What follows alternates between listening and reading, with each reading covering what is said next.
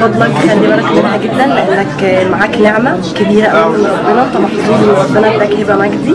وأنا يمكن بقول دايما إن هبة مجدي دي من من الخمسة القليلين اللي اتعدوا على الصوابع في الوسط. وسعيدة جدا إنها مبسوطة. والنهاردة يعني أنا كنت الوقت بعيط حاسة إن أنا مامتها.